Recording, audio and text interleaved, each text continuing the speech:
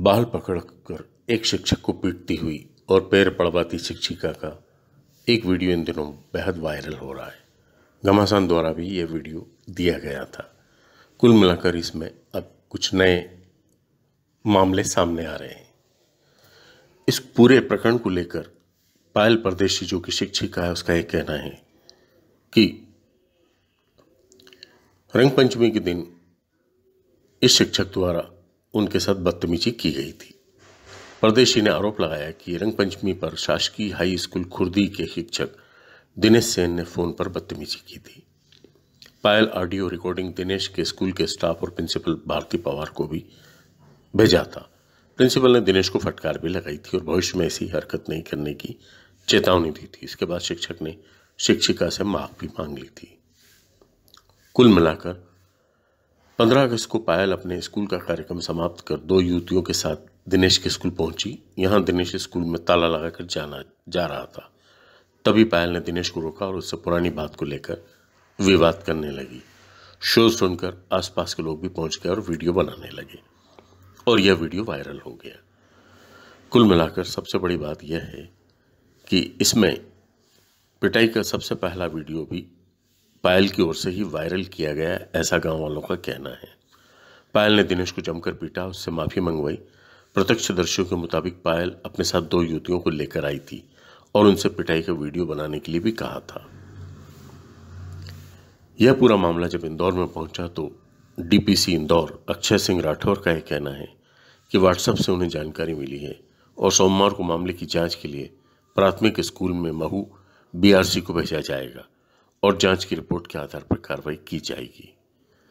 इधर, शिक्षिका की प्राचार्य का यह कहना है कि चार महीने पहले इस घटना के बारे में पायल ने मुझे जानकारी दी थी, तब शिक्षक को फटकार भी लगाई थी। मामला समाप्त हो चुका था। लेकिन अब दोनों का जो नया वीडियो सामने आया है, उसको देखने के बाद ऐसा लग रहा है कि यह मामला फिर से तूल पकड़ चुका है।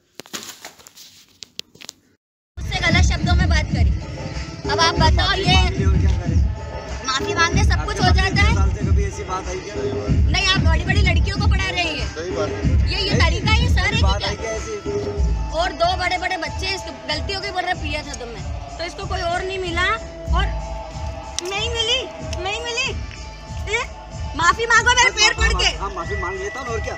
माफ़ी मांग लेता बहुत गुस्सा में तुम्हारा है ना मैंने डीओ साहब से बोला था उसने बोला इसकी नौकरी से चला जाएगा ये। इसके पूरा बीवी बच्चे से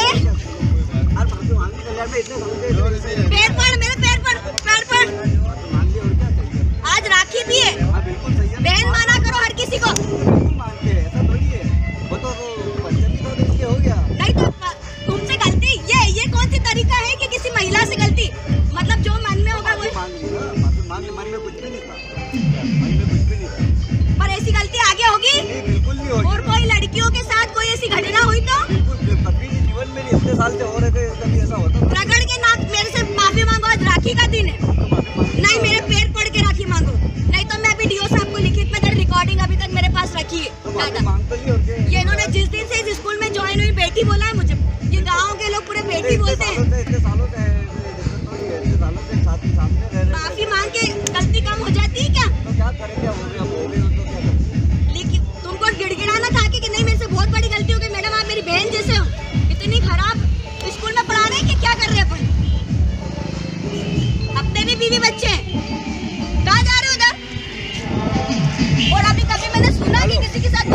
हुई अगली बार ये मैं इसी सोच के माफ़ी करूँगी।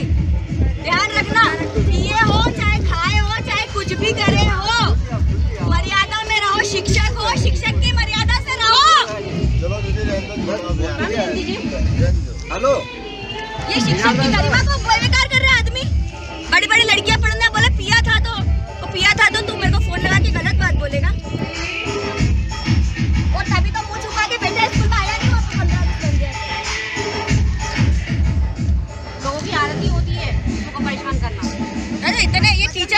Subscribe our channel and press the bell icon for more updates.